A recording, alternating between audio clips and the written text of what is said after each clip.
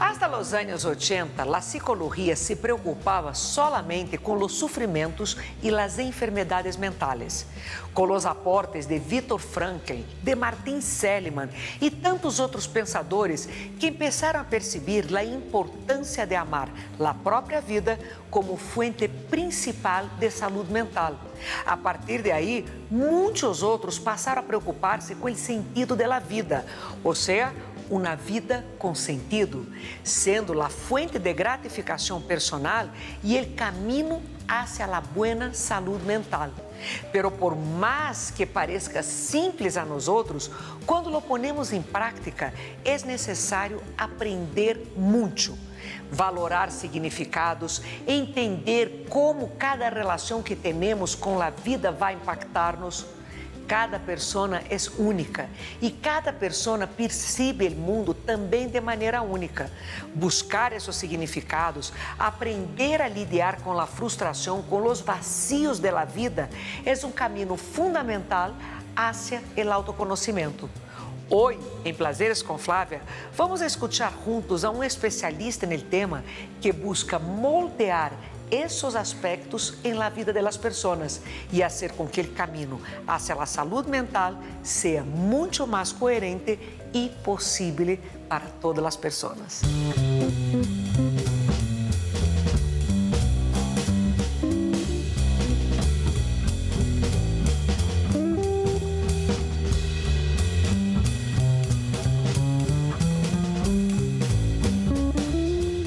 Para dar sentido a todo lo que les dije en un principio, hoy tengo aquí a Iván Morales, que vai dar sentido a toda essa charla de hoje. Bem-vindo, Iván. Muchas gracias, Flavia. Encantado. Encantada, Joe.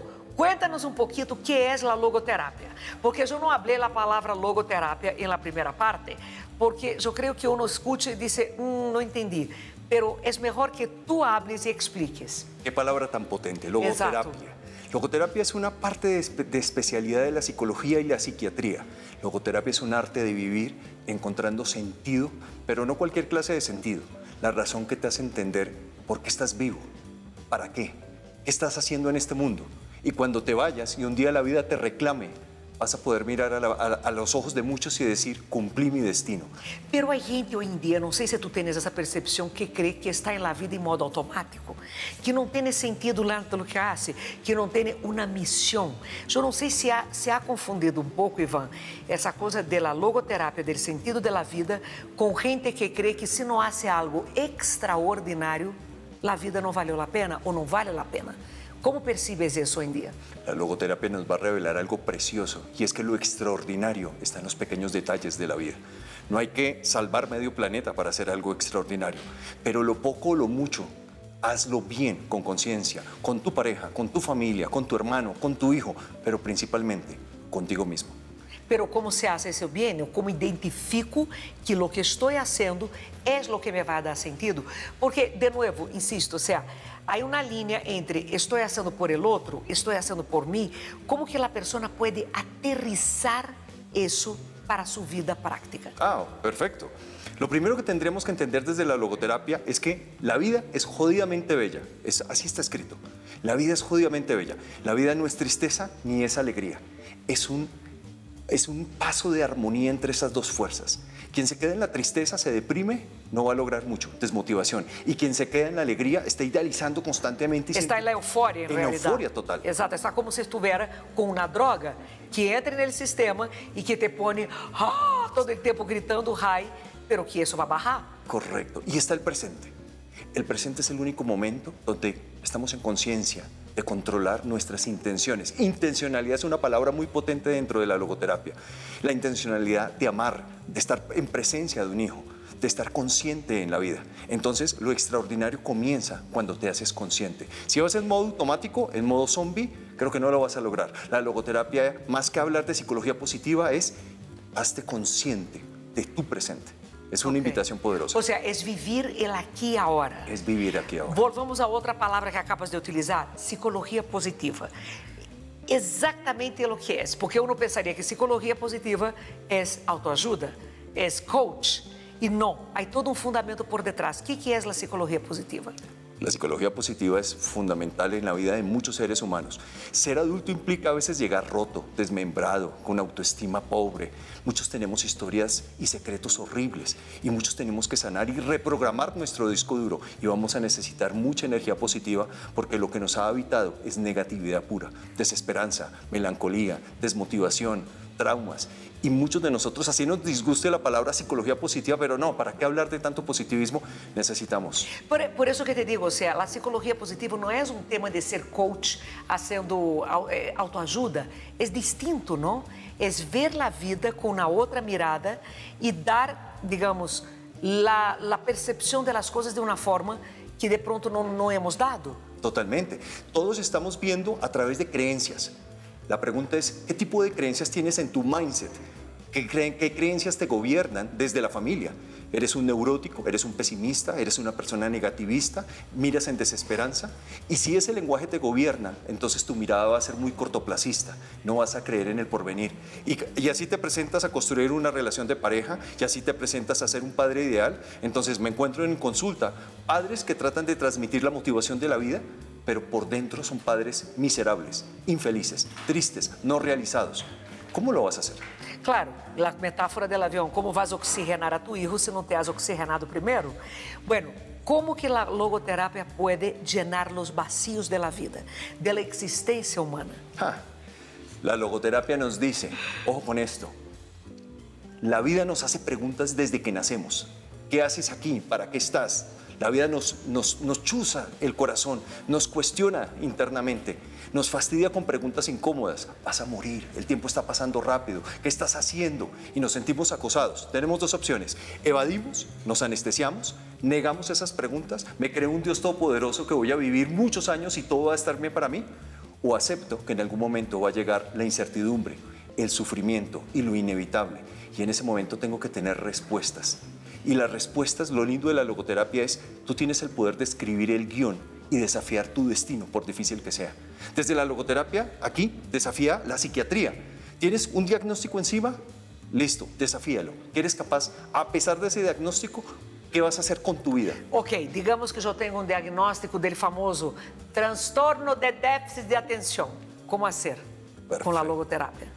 Tenemos dos Que opciones. es el trastorno que todo el mundo hoy en día parece que tiene el diagnóstico. Y eh, si no es ese, es OCD, y si no es ansiedad, y si Sí. no es Bipolaridad. bipolaridad. O sea, todos somos bipolares. La logoterapia nos dice, tienes dos opciones, o te autodiagnosticas y aceptas el rótulo y aceptas que ya compraste un destino triste para ti. No, es que soy bipolar, o sea, no esperes mucho de mí. Sí. ¿Te derrotas? O a pesar de eso, vas a decir, lo voy a intentar y lo voy a volver a intentar. Y así me caiga, lo voy a intentar hasta lograr lo imposible. Ok. Ahora, como que se combate isso de la mano del diagnóstico del médico? Ou seja, chega um paciente e diz, ok, tenho aqui o diagnóstico, tenho minha pastilha. Em que me vai ajudar a logoterapia se eu já vengo com todo isso montado? Ah, Víctor Frank, Ajá. padre de la logoterapia, Sí. sobreviviente cuatro años a los peores campos de concentración, Sí. tiene frases potentes en donde dice, no hay situación que determine a un ser humano, no hay un destino que obligue a un ser humano. La última de las libertades de un ser humano es la capacidad de cómo le respondes a la vida, así estés en el infierno. Listo, estoy en el campo de concentración, ¿cómo respondo? ¿Me suicido? ¿Me boto al barranco? Me deprimo? ¿Me deprimo? O como él hizo, voy a sostenerme y voy a sostener a 3.000 personas alrededor mío. Pero aí te pergunto, ok, Vitor Frankl, eu estou de acordo contigo, foi um, um grande defensor de isso. Pero onde saca, não diria nem o conhecimento, pero a força para uno passar a esse momento? Ah. Para uno, quando toda a diversidade vem em contra e que a pessoa de verdade, como, onde saca a força para parar-se e dizer, eu vou escolher outro destino? Otra palabra que está asociada a la, logo- a la logoterapia es plataforma espiritual. No, no espiritualidad en términos de Dios o religión. La espiritualidad como al final cuando estás en una situación difícil, las creencias se van yendo y queda la esencia del ser humano. Tu potencialidad o de vivir, de decir sí vivo a pesar de las condiciones que, que haya alrededor mío o muero. Entonces Frank dice, Todo ser humano tiene que hacer tareas de sumergirse en sus mundos, en su inconsciente, en el lado oscuro, Como? aceptando, primero, que esa realidad oscura nos pertenece a todos los seres humanos. Exato, como los vacíos. Correcto. Y todos queremos vernos como seres de luz. O, noticia, no somos ángeles. Pero tam- somos gratiluz, não somos seres de gratitud e luz. Isso é uma mentira. Correcto. Pero tampoco te, tampoco te voy a decir que somos demonios. ¿Qué somos entonces? Pero não podemos ser demônios e luz, demônios e luz. Dizer, Exato. não podemos ter a ratos demônios e a ratos luz. Exactamente. La logoterapia invita constantemente a que hagas una reconciliación con tu propia oscuridad y con tu propia luz. La logoterapia nos dice, somos seres duales, hay dialéctica. Sí. Y la vida es dialéctica. Y Sim. tienes que aceptar que Quando estamos en la amas, tu odias. Quando tu queres, tu não queres. Quando deseas, não sabe o que fazer. Isso é do ser humano e eu vejo muita falta de madurez em la gente, sobretudo quando tu, ahora, em temas políticos. O ama, odia, não entendem o que é a dualidade, não entendem a ambigüedade do ser humano. Então, tu vês que as paixões e os ódios se desarrollam por imadurez. Eu sou de uma corrente política e não acepto isso, não acepto. Ou seja, não acepta nem que o próprio líder tenha seu outro lado, sua dualidade. E de aí eu creio que é um dos grandes problemas da humanidade, a falta de madurez quanto à ambigüedade. Está hermosísimo eso que dices. Y si lo llevamos a la pareja, se polariza la pareja, ¿Cómo? ¿Cómo? blanco y negro. ¿Cómo? Entonces, hay alguien que cree tener la razón, hay una parte herida, pero hay orgullo y soberbia entre las dos partes. La logoterapia diría, Eu não sou logoterapeuta, Ivan, mas eu te vou dizer uma coisa que aprendi com uma amiga. Ou sou feliz ou tenho a razão. Então, em meu matrimônio, eu sou feliz. Eu dejo que o outro creia que tenha a razão. Porque para que, que me vou a despelucar em discussões e enfrascar? Então, eu, ou seja, quando a gente me mira, eu digo, sim, eu sou feliz. Quando estamos em meio de um momento caliente, que a gente vê que ele crê que tem a razão, eu digo, já escorri outra coisa para a minha vida. Pero vai, sigue com a pareja, el lado oscuro. Um está herido, el outro y el otro es víctima, victimario. Hay un juego de poderes, hay un juego de verdades. ¿Quién tiene la verdad? Se atacan, se lastiman, pero dices que son pareja. ¿Dónde hay pareja? No se comunican, no intiman, no, no se aman, no se respetan. Entonces la logoterapia dice, la única manera de controlar tu ego y asimilarlo es que reconozcas que la oscuridad la viviste. La oscuridad es una situación límite, un trauma, un accidente, una enfermedad que te recuerda el poder de la vida es corto, no puedes perder tiempo. Cuando estamos en pareja y nos dan largas discusiones pues, que pueden durar años, discusiones eternas, somos egos ambulantes llenos de soberbia pensando que tenemos todo el tiempo a nuestro favor y sin pensar que el siguiente año mi pareja no va a estar y ya no voy a con quién más a lidiar o luchar, ni tampoco voy a tener con quién perdonar. Ou seja, tu estás propondo, então, se tu propones que desde a logoterapia uno vea hoy el último dia de tu vida Exactamente. ou de la vida del outro com quem te relacionas. Exactamente. Entonces, ¿lo vale? ¿Vale que mi ego tenga razón en este momento? ¿Por qué no consigo? Não te agotas, não és agotador Totalmente. que uma pessoa tenha que viver cada dia como se for o último. É dizer, dando de tal maneira e recebendo de tal maneira que isso deve agotar. Tu deve chegar um momento que te deves queimar ou ter um burnout emocional. Es posible. Pero la pregunta es, ¿preferimos ser zombies, autómatas, seres anestesiados o ser seres llenos de vida, de esperanza, pasionales, seres intencionales, seres de acción? La pregunta es, ¿de qué lado quieres estar? Claro, no todo el tiempo podemos ser una intensidad porque nos quemamos, con, con- el sol nos quema.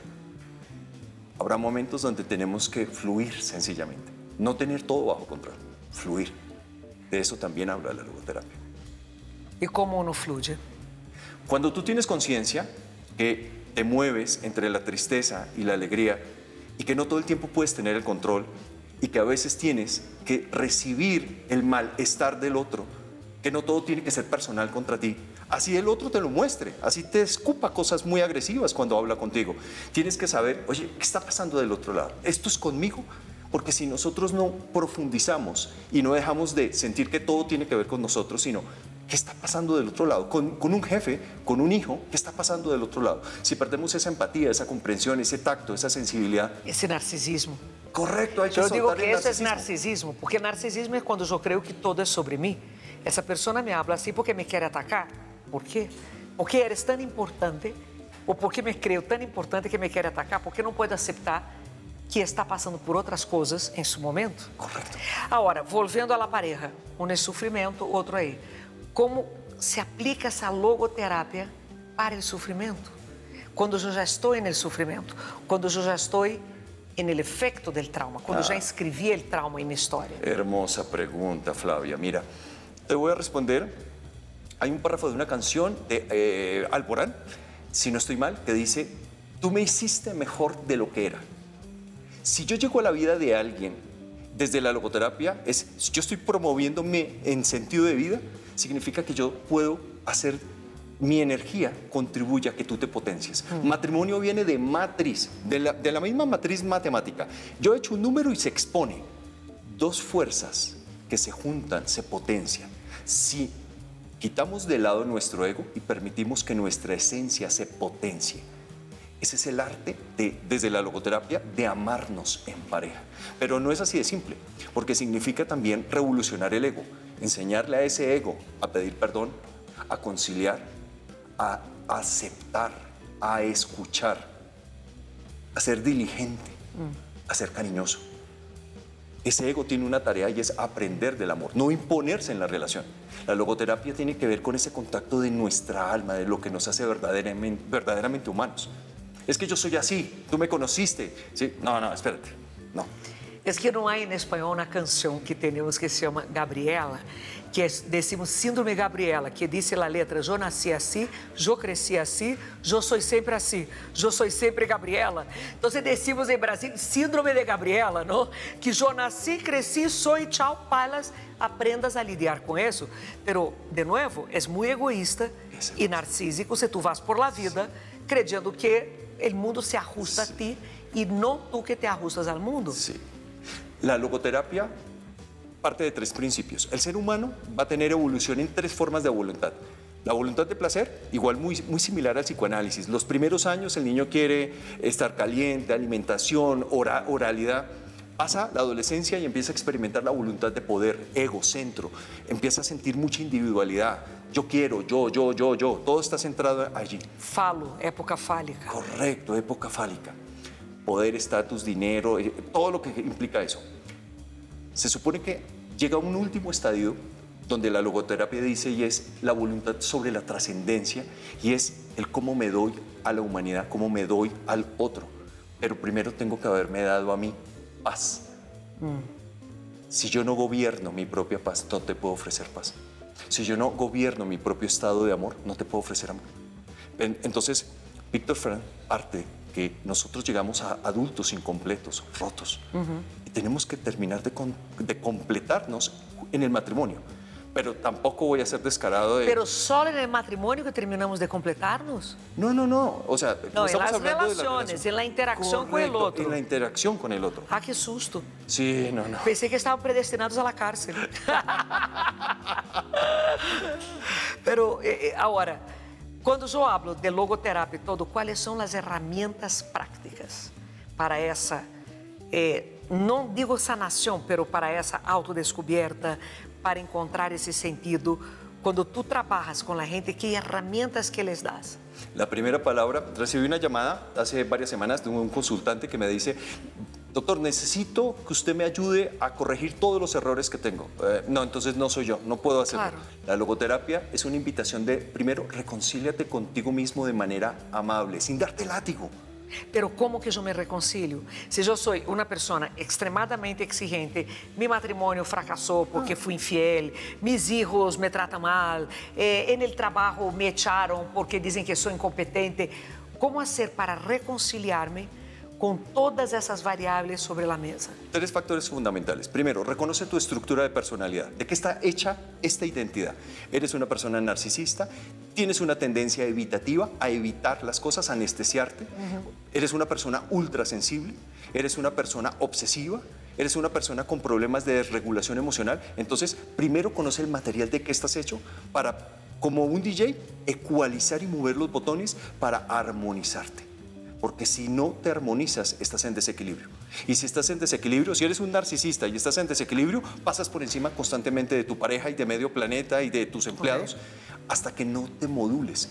¿Tienes mucha fuerza? Sí, modúlate. El evitativo es tímido, procrastina, no habla.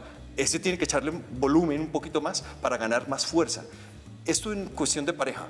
Si un narcisista se junta con un evitativo, el narcisista va a estar por encima aplastándolo todo el tiempo. La tarea espiritual del evitativo es ganar fuerza y equilibrarse al narcisista, pero no a la fuerza, no contestando feo, sino con sabiduría e inteligencia emocional. Como? Entonces, como? Dame, dame las herramientas. Porque yo sé que la gente que está viendo, y por más que nosotros psicólogos no nos gusta eso de dar eh, la respuesta directa, una persona que está vendo e quer já a partir de hoje praticar, que dirias tu? Qual seria a, a forma que ella tem que cambiar agora?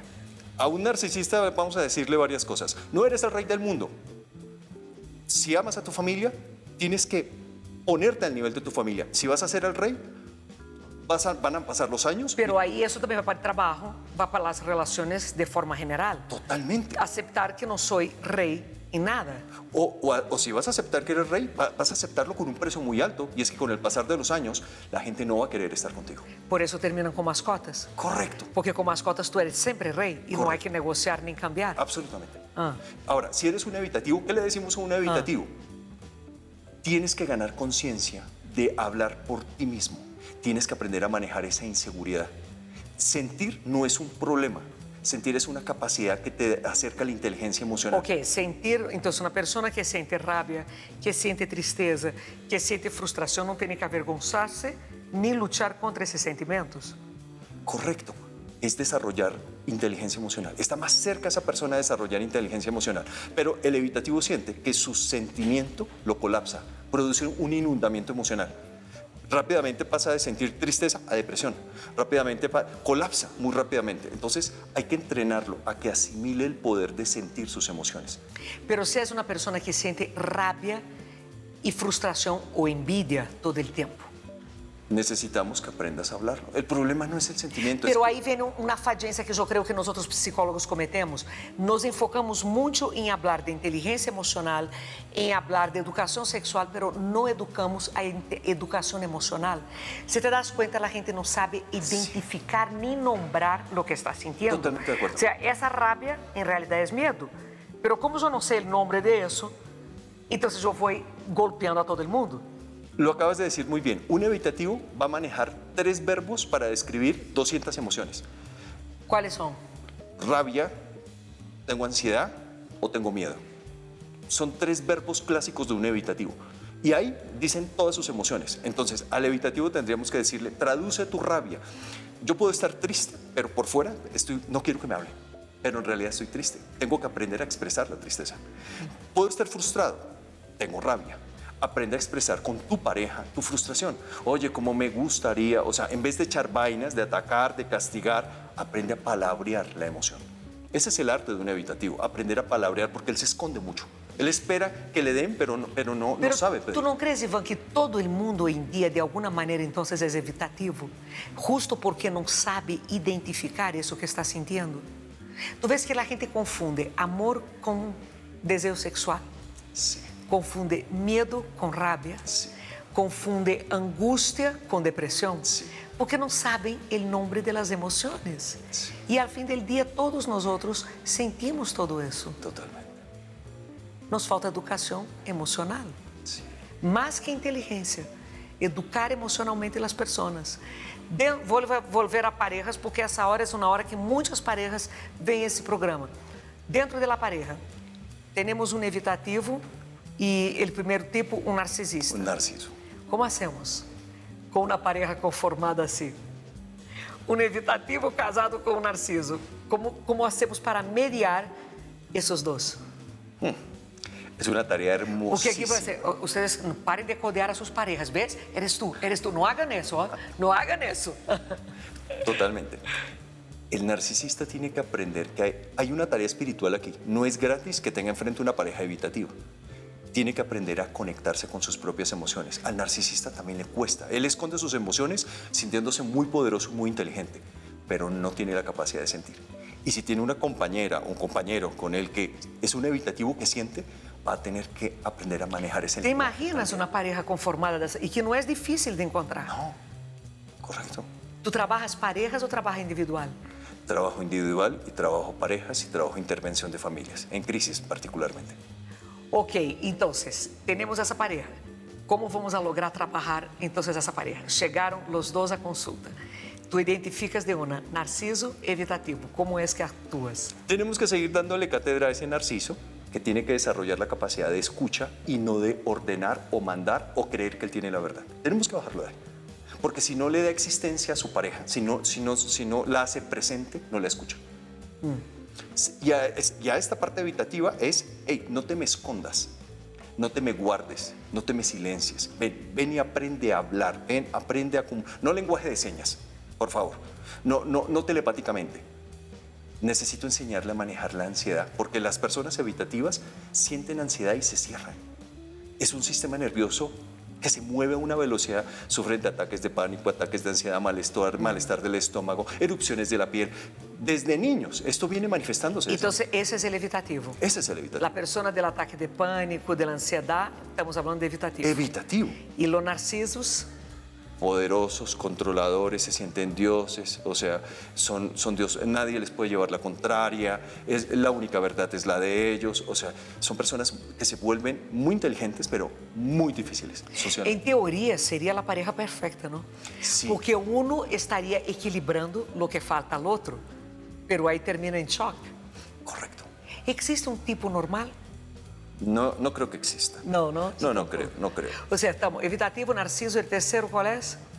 Evitativo, narciso, obsesivo. Obsessivo. Cuéntame o obsessivo. Dios mío, una persona obsesiva. eh, bueno, hablé con alguien estos días y- está buscando pareja ya hace dos años más o menos. Ha tenido varios encuentros, pero in- de manera inmediata no me gustó, no me gustó, no me gustó. Y yo, por fin llegó alguien que cumplía el filtro que ella misma había puesto. Y yo, ok, ya también lo saqué. ¿Cómo que lo sacaste? El obsesivo tiene un, tiene un nivel de exigencia en donde nada ni nadie le sirve. Le haya pero a todo necesita el estándar 10 de 10. Es un obsesivo perfeccionista. En este caso yo le decía, no, espérate, no, no puedes hacerlo porque tú terminas de construirte con la otra persona. No puedes esperar que llegue de 10 de 10, eso, eso no existe. Porque tú- nós outros somos. Correcto. Nós outros não somos 10 de 10. Correcto. Entonces, esta persona, eh, su manera de expresar la frustración ante esa no calificación que tiene el otro, observa, juzga por dentro, se estresa, no dice nada, sino sencillamente descalifica y se desconecta. Sexualmente baja su intensidad, va dejando de hablar, va aburriendo al otro hasta que el otro dice, oye, ¿qué pasa? ¿Estamos bien? "Mm, no sé, dime tú. O sea, son personas muy difíciles. Pero esses são todos os casados. Dime tu, dime tu. Há um quarto tipo? Eh, el, que, el que tiene desregulación emocional. Bueno, vamos a um corte e já vamos a desregular-nos emocionalmente, pero mientras tanto, regulemos-nos. Regulemos. Salud, Ivan. Salud. Cheers. Buena vida. Já regressamos.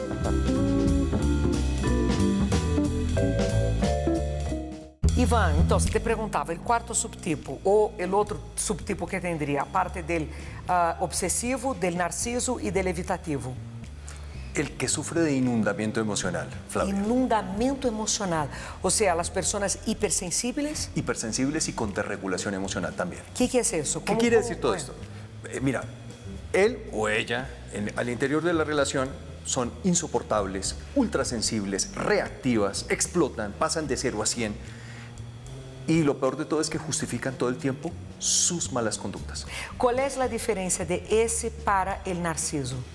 Ah, el narciso explota para castigar y para controlar a los demás y para imponer su poder, que los demás tengan miedo de él, o sea, que nadie se acerque a él. El narciso siempre va a montarse arriba y no deja que nadie se acerque. Es un rey. El explosivo, el explosivo anda peleando con medio planeta que sufre de inundamiento emocional, no sabe regular sus emociones y todo el tiempo está en una hervidera, o sea, sufre de gastritis literalmente, se le rebota la gastritis, no se le puede decir nada, todo genera estrés, ansiedad y se vuelve una persona insoportable en sus vínculos. En el trabajo insuportable. Pero es muy parecido entonces, ¿no? El inundamiento emocional con el narciso. Ellos comparten muchas características en común. En todos los aspectos de estructura de personalidad, cuando estamos hablando que están en desequilibrio, se comparte estrés y ansiedad. Es la forma de vivirlo por dentro. Vacío existencial, inconformidad. Ese es un indicador de cuál, independientemente de, de, la descripción de la estructura de personalidad, cuando está en desequilibrio, es así se describe el malestar interno. ¿Existe la persona que tenga las cuatro características? Es posible, pero quiere decir que estamos hablando de una persona con muchas complicaciones internas. Significa que es una persona que puede venir con traumas, una persona que viene de una influencia familiar muy difícil, viene de una historia, de una autobiografía muy difícil. Es una persona muy complicada. Como tu ves hoy, Iván, la sociedad comparado a antes? Eu te digo antes, o sea, todo o trabalho de Viktor Frankl, de Seliman e de todos os precursores depois do pensamento de Frankl é relativamente moderno. Como crees tu que a sociedade ha evolucionado ou involucionado nesse sentido? Em la búsqueda del sentido. Tenemos un desafío y es que con el desarrollo de la tecnología, lo digital, entra la homogeneidad donde los influencers y lo digital nos hace disponernos a seamos todos más o menos iguales, donde es un peligro ser diferente, pensar diferente, ser diferente. Ojo, ser diferente no es que sea un problema, pero ser diferente para construir una mejor sociedad, para construir una mejor versión de ti mismo, para construir una mejor versión de tu propia pareja. Para aceptar el otro, ¿no? Correcto. Es lo que considero, lo que llamo de narcisismo de las pequeñas diferencias. Correcto. O sea, si la persona tiene un pelo distinto del mío, yo la quiero odiar, cancelar y borrar de la existencia. Correcto. La gente está hoy en día enfrascada en diferencias pequeñas, o sea, somos seres humanos, hablamos casi que el mismo idioma, estamos en el mismo espacio, pero eu te vou borrar porque tu não eres igualito a mim. Então, se o que não é igualito a mim, eu não quero que exista. é o que chamo de narcisismo de las pequeñas correcto, diferencias. Correcto. Que nos lleva hoje a la intolerancia que estamos viviendo. Total. Y esto aplicado al interior de las familias, al interior de las parejas. O sea... De la familia, cuando los hijos no son igual a los papás. Correcto. Cuando los padres llegan a consulta y dicen, es que no entiendo por qué mi hijo es así. Yo te... Essa semana eu, eu tuve consulta com um que me dijo, es que mi hija está gorda. E eu perguntei, e? Não, ella não se molesta, pero ella está gorda e isso é malo. ¿Por quê? Porque pode venir a ter problemas, pero não tem. Não. ¿Me entende? O sea, é o narcisismo de la pequena diferença. És minha hija, se não és igual a mim, não me sirve. Tem um problema? Como que a logoterapia trabalha esse tipo de coisa? La gente que não aceita al outro distinto La logoterapia es un lenguaje crudo de la realidad, no es maquillar las cosas. Si estamos haciendo una intervención familiar, implica decirle a ese papá o a esa mamá, sabes el costo que está teniendo tus conductas descalificativas, tu poder, tu exceso de control, tu saboteo a tus hijos. Eres consciente de lo que estás produciendo porque el asunto es, lo haces, pero te haces consciente del efecto dominó que viene en camino. Después no te vayas a lavar las manos que no, sabías que todo eso iba a pasar. Entonces, el hacer consciente de la responsabilidad de las acciones es parte de la logoterapia. Y en el lenguaje familiar hay papás y mamás que le pueden hacer miserable la vida a un hijo, mm. como también pueden haber hijos que le hacen la vida miserable. a un papá o a una mamá. O sea, esto es, el, el, sistema familiar tiene que mirarse de un lado y de otro porque estamos, es la era del desequilibrio. Es la era de la desconexión. Ahí volvemos al tema que tú estabas contestando de las redes sociales, de los influencers. O sea, ¿cómo que eso tú ves hoy la sociedad buscando sentido para la vida? ¿Tú me estabas diciendo eso? Lo digital no plantea construcción de valores sociales. Okay. Eso es el problema que tenemos aquí. ¿Dónde, ¿Para dónde va lo digital? Placer, distracción, anestesia, apendejamiento, distracción. ¿Qué, qué es apendejamiento? La rueda de un hámster que da vueltas y vueltas. Y vemos lo mismo de lo mismo horas. Pero no, ¿qué hay más allá? ¿Qué nos deja? Con eso que construyo. Eso, eso, que, eso que veo en las redes, en un TikTok, ¿qué me construye para mi familia, para mi pareja? Entonces, tengo parejas que yo escucho y ella eh, hace una cena especial, pone velas, da todas las señales de encuentro, encontrémonos.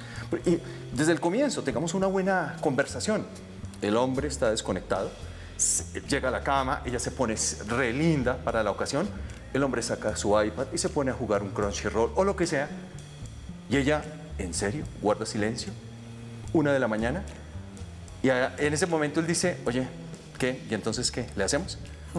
Y ella dice, ¿en serio? O sea, no.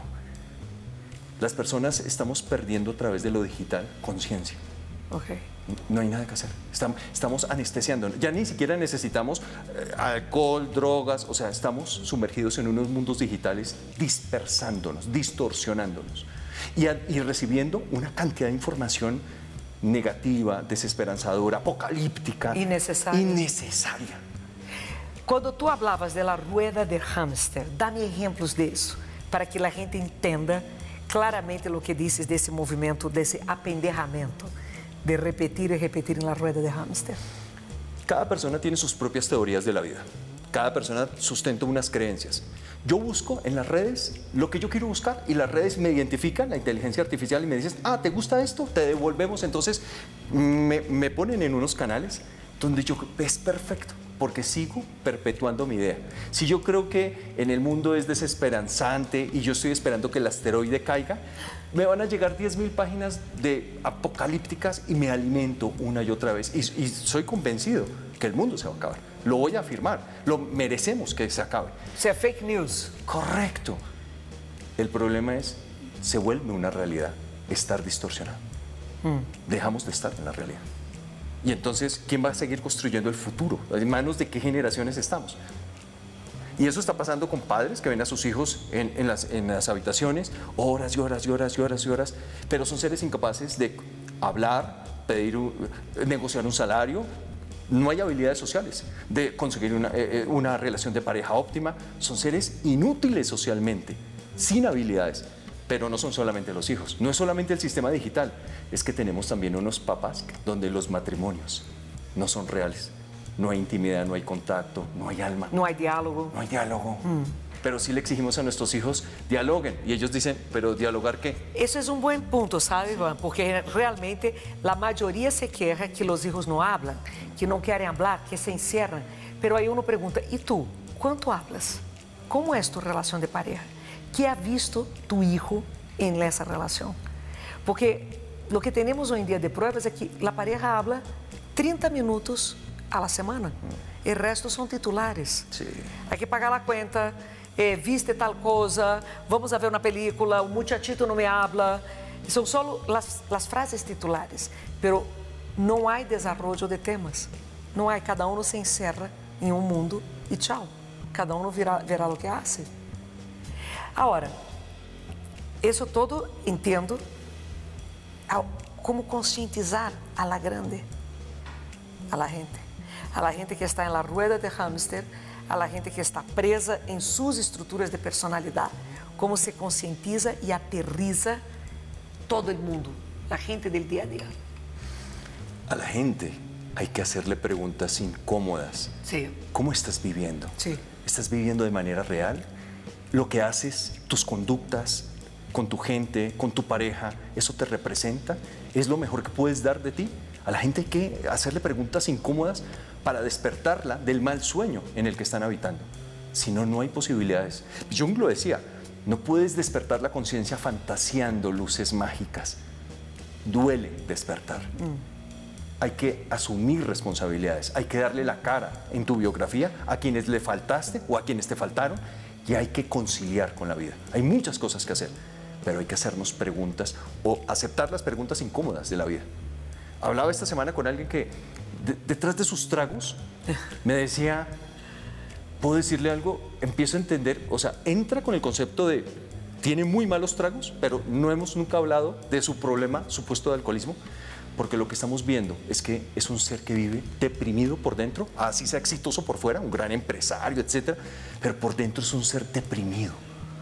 Y le da miedo decirle al mundo, no sé para dónde voy.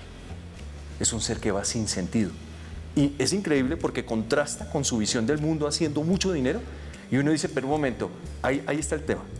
Hacer dinero o aparentar No tener éxito sentido. no da sentido de vida. Ou eso por es lo menos não é ele sentido que ele estava buscando. Exatamente. É alguém buscou para ele ou ele creyó que era seu sentido, pero não é ele real. Correcto.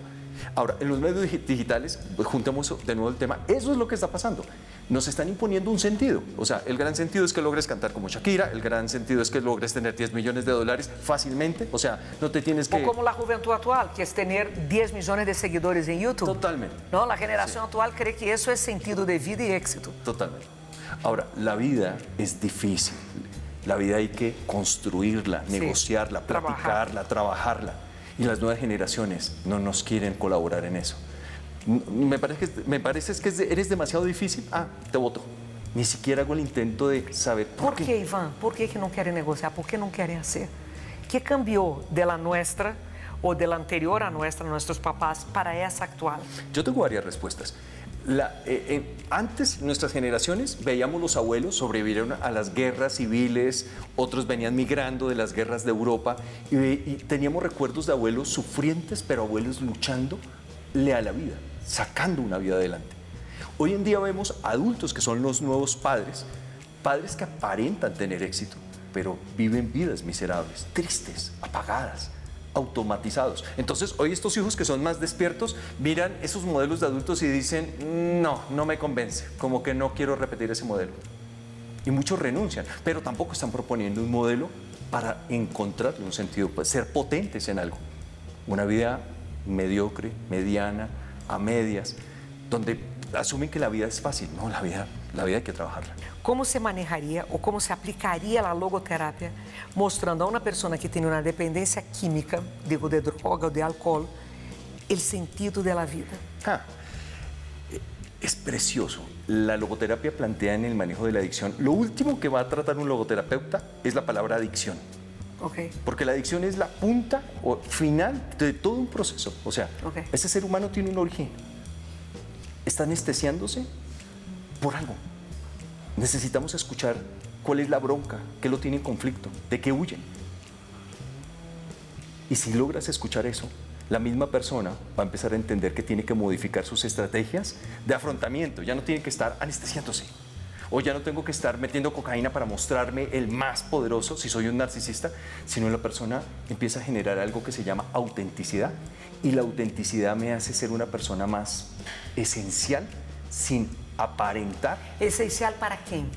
Esencial para vivir mejor, esencial para ser más real. Y si soy más esencial, no necesito máscaras, ni necesito armaduras, ni necesito mecanismos sofisticados como es consumir adicción para poder sentirme bien con una mujer y tener que tomar trago. Puedo descubrir que puedo ser auténtico y es más poderoso que estar con tres tragos encima para acercarme a alguien, en ese caso. Ese es el poder de la autenticidad, donde por eso digo, la logoterapia no se va a centrar en hablar del problema de adicción, es darle potencia a ese ser humano. Una persona, no vamos entonces al trago ni a la droga, cigarrillo. ¿Cómo aplicar la logoterapia para uno que fuma hace 50 años y tiene un cáncer, por ejemplo? Un cáncer de pulmón y fumo hace 50 años. ¿Cómo uso la logoterapia en ese paciente? La logoterapia no va a decir el cigarrillo es malo. La logoterapia va a, describir el cigarrillo como un compañero o una compañera en masculino o en femenino, depende. Es como un alter ego, una compañía que ha estado ahí y la pregunta es, ¿es tan fuerte la alianza del cigarrillo y esa persona? ¿En qué momento se creó esa alianza? ¿En qué momento se volvieron tan buenos amigos? ¿En soledades, en tristezas, en desamparo, en momentos difíciles? Entonces, hay que investigar cómo se despide a ese compañero cómo se le da las gracias. Hay que hacer, y suena como, como cualquiera que nos esté escuchando diría, eh, son burradas lo que está diciendo. No, no, no. Desde... No, eso se hace con los niños con el chupete, como es la, cuando un niño chupa. El, el chupo. El, chupo, el chupo. Se enseña y uno no quiere aceptar, pero uno nunca en la vida es un adulto. Adulto es una persona comandada por un niño, un niño que tuvo experiencias. La forma que te quitaron del chupo e del pañal é mais ou menos a forma que te quita de certas dependências. Correto. Pero, insisto, 50 anos fumando, ter câncer de pulmão, como chego? A punta de reconciliação. Não lo veas como um inimigo. Es un amigo que te ha acompañado, es una presencia que te ha acompañado, es un alter ego que ha estado contigo en las buenas y en las malas. No lo puedes sacar por la puerta de atrás. A ese, cigarrillo hay que sacarlo como en un funeral piquingo, por delante darle las gracias y explicarle que es momento, llegó el momento, ya te puedes hacer cargo de tu vida, de aquellos aspectos donde precisamente te hizo tanta compañía, ya te puedes hacer cargo, ya le, dices, cumplimos la tarea. Si tú no rompes el factor motivacional de enganche, no es posible, porque lo sigues haciendo implícitamente necesario para ti. Ok. Basado en tu experiencia de trabajo, ¿cuánto de porcentaje hablamos de resultados positivos versus resultados que não se deram como esperado. Porque, claro, quando uno busca ajuda, uno vai com expectativa. Então, como, como, como evaluas tu esses resultados? Lo voy a plantear desde, nosotros tenemos una, eh, eh digo, desde la logoterapia, unos colegas y yo eh, tenemos el colectivo aquí ahora, que es una clínica súper especializada para trastornos de personalidad y problemas de adicción. Ahí nos eh, hemos hecho investigaciones muy fuertes sobre estadísticas de lo que estás diciendo. De acuerdo a la logoterapia, ¿qué resultados se obtienen en una población de personas que son adictas? Exacto. Pues te cuento que el, indicador nuestro supera el 80% en todos los sentidos. ¿Qué pasa con los 20%? ¿Por qué no funciona en 20%? Porque son personas que tienen una estructura psiquiátrica muy fuerte en donde hay una condición orgánica biológica que ha alterado funciones cerebrales y no permite que la persona logre la estabilidad necesaria. O sea, hay una cisión. La persona está de alguna manera partida. Correcto. Y cuando está partida es más difícil, que son los casos psiquiátricos más difíciles, que son los disociados. Hay doble diagnóstico. Entonces, ahí hay. O, la sorpresa negativa, familias que protegen a sus propios adictos. Codependencia. Codependencia y no les conviene que se cure esa persona. Porque implicaría que ellos La propia patología tiene que lidiar con ella. Correcto. Es eso que la gente a veces no entiende, matrimonios que uno dice, no entiendo por qué sigue ahí, porque tiene algo más fuerte para esconder. Exactamente. Y esconde la propia patología detrás de la persona que está marcada como la enferma. Es súper triste ver ese tipo de casos. Y se ve mucho, ¿no? Codependencias en familias, esas son tenaces. Vamos a un corte. Já regresso com Ivan, porque ahora quero perguntar de adictos em potência.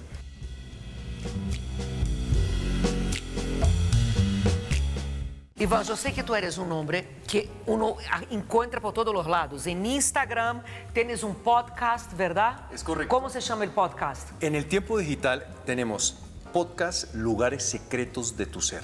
Ok, Lugares Secretos de tu Ser. Tiempo digital. Pero me llama mucho la atención tu libro, Adictos en Potencia. ¿De qué habla? Porque yo pensaría, son las personas que están buscando resultado, desempeño. ¿De qué es Adicto en Potencia?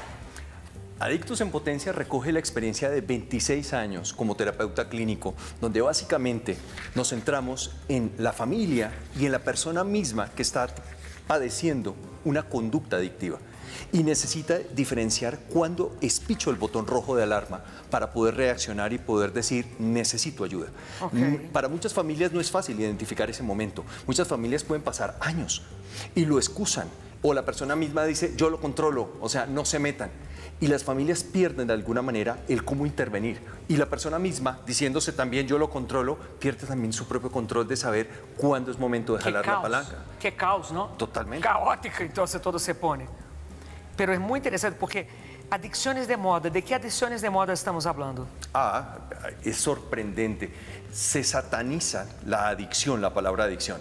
Adicto es el que consume alcohol, el que mete cocaína, el que está encerrado en el parque metiendo marihuana. No, yo soy adicto al trabajo. Correcto. Aquí vamos a hablar, a, la adicción nos pertenece a los seres humanos. Todos. Todos. Porque somos, seres de rutinas y miedos y nos agarramos a lo que nos da seguridad. Correcto. Entonces uno dice, ah, porque yo soy adicto a mi pareja. No, tú eres adicto a la seguridad que tu pareja te da. Exactamente. O sea, soy adicto al trabajo. No, eres adicto al miedo a la soledad, al vacío. Exactamente. Eh, eh, es ahí.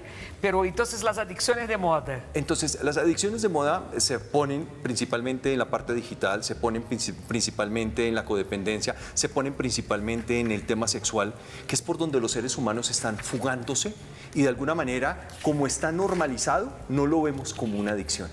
Y hay personas que tienen graves problemas adictivos y no necesariamente tiene que entrar en una conducta sancionada legalmente hay conductas, vigorexia, eh, exceso de sexualidad. Café.